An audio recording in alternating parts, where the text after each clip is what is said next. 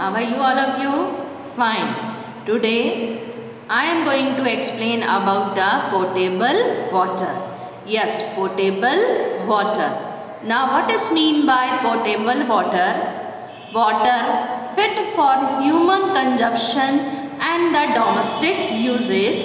Water which is fit for the human consumption and domestic use which is sanitary and normally free of minerals, organic substance and toxic agent. Means it is free from the suspended particles also like mud and sand, pesticides, fertilizer, harmful chemicals and harmful bacteria. In excess of reasonable amount for a domestic uses and, and normally adequate in quantity and quality for the minimum health requirement of a person served. So we can say that one ki water which is fit for drinking is called a potable water. Water fit for drinking is called a potable water. Potable water or improved drinking water is water that is safe to drink or to use for food preparations without risk of any health problem. Now what are the characteristics of potable water are as follows. First, cleaned of harmful contaminants. Cleaned of harmful contaminants. It should be transparent, odorless, colorless, it is harmless or free from disease causing bacteria. So this is the characteristic feature of potable water. It is odorless means it does not have any smell. They does not have any color, transparent and it is free from disease causing bacteria.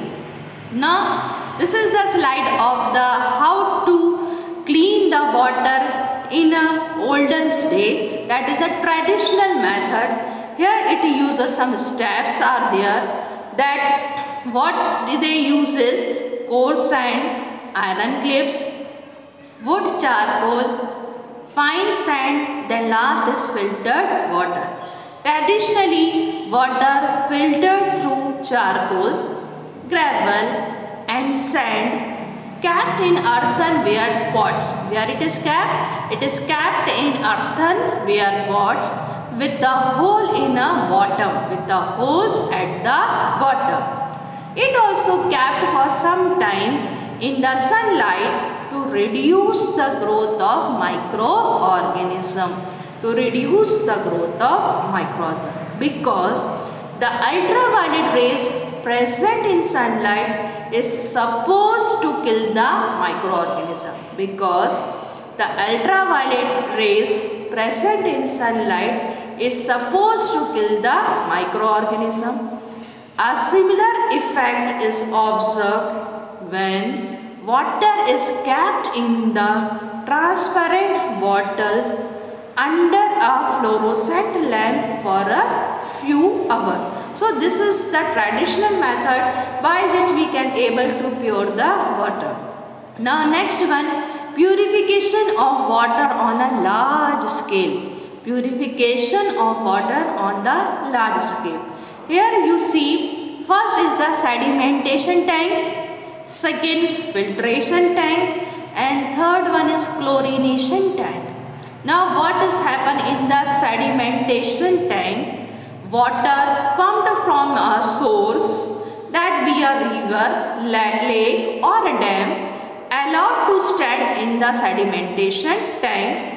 It is called also a settling tank. It is also called a settling tank for a few over mud, sand, other suspended particles are settled down here the addition of a small quantity of potash alum.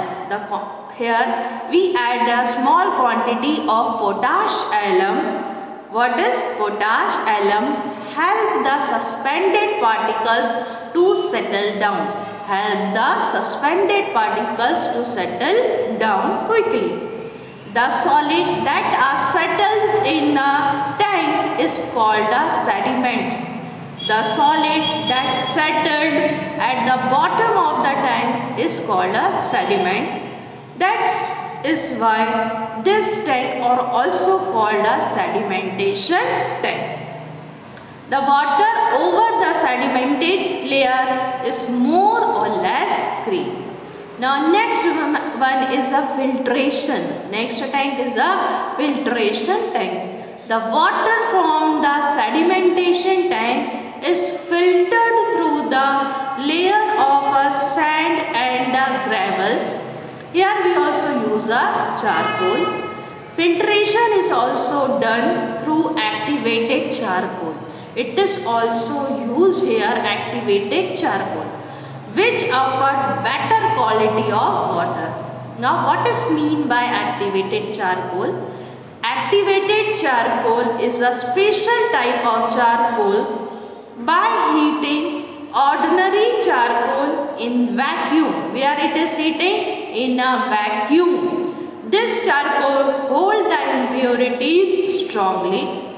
So here the water should be a most impurities are removed here. Now last step is the chlorination step. The last step is the chlorination step. The filtered water is then treated with the chlorinic gas which kill the germs. So this is the different method by which we can able to purify the water on a large scale that's why they are also known as water works. It is also known as water work. So I hope you understood how we purify the water in a olden day as well as on a large scale how we purify the water. Now thank you.